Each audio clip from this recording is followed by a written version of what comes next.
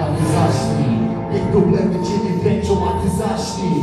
Niech problemy cię nie dręczą. A ty zacznij, niech problemy cię nie dręczą, a ty zacznij Cię nie dokładnie 10 lat, kiedy trafik tak właśnie chciał z nim mały pokój z chłopakami z domu dziecka. Patologia zdradziecka, zawsze go prześladowała. Jego pozycja w życiu, z góry pozycja przegrana No a gdzie jego mama?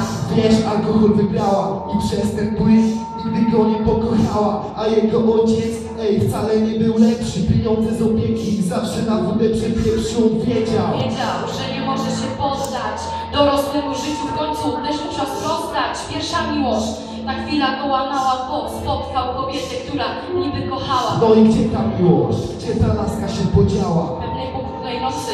Tak mu powiedziała. Sorry Łukasz, nigdy cię nie kochała Co ktoś taki jak ty ma do zaoferowania. Przeklęta przeszłość zostawiła znak na ciele. Odwrócili się nawet Najlepsi przyjaciele, więc się błąkał. Spytał kolegi, czy go przenocuje On na to sorry Łukasz, chyba sobie żartujesz I co powiedzą starzy.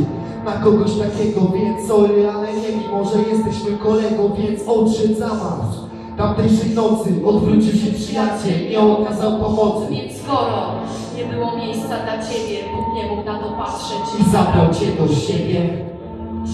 I zabrał cię do siebie. Tak. A ty spójrz na mnie i powiedz, kogo widzisz,